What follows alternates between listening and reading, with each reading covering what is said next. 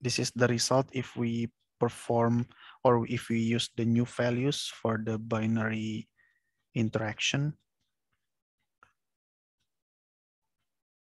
Okay, but exit, of course, the result can be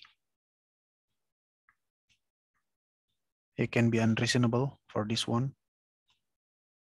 So we can use this set values. Okay, maximum value, this one. Now we check whether there are any binary interaction higher than 0.07. So let's let's check. I don't think so. No, right? No. All the numbers are lower than 0.07.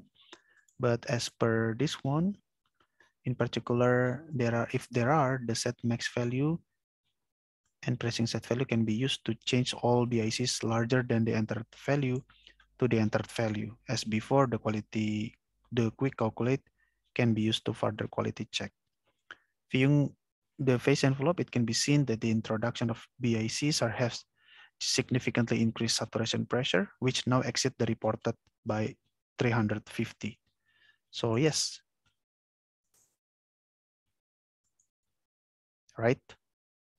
So currently the calculated phase envelope is higher or the calculated saturation pressure is higher than the laboratory data.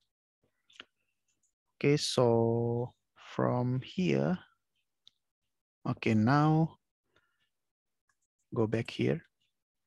Next, reduce the maximum binary interaction coefficient until we get a closer match with the reported saturation pressure. Please note that because the EOS already overpredict the saturation pressure without any BICs have being used, for any positive BICs, the EOS will continue to do so.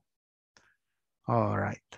In our case, it was decided to progress with BICs though not exactly required, and limiting the maximum BICs to 0.01.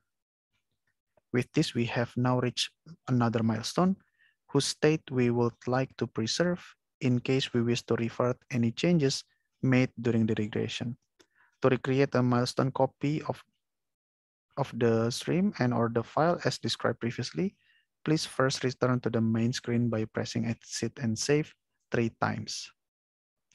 Okay, so let's maximum value this one first.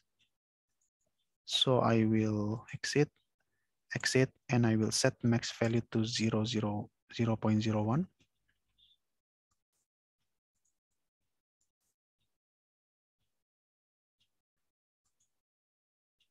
Okay.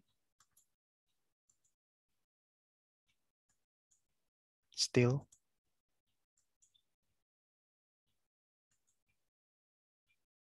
set values to this one or set value 001. Okay. So now it's better, right? Better. All right, very good.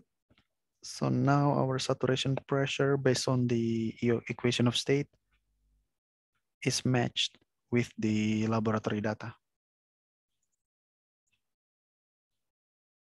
click exit, exit, exit and save, exit and save. Now I will,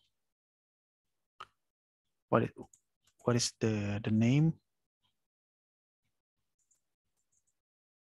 Binary interaction or pseudo splitting.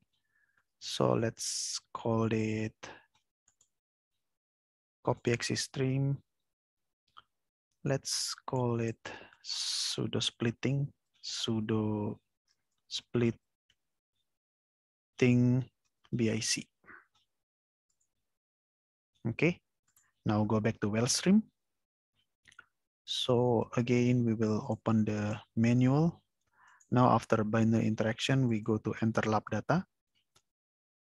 Now that we have defined the pseudo properties, split the pseudo and have applied the BIC, we are almost in position to perform the regression to fine tune the EOS.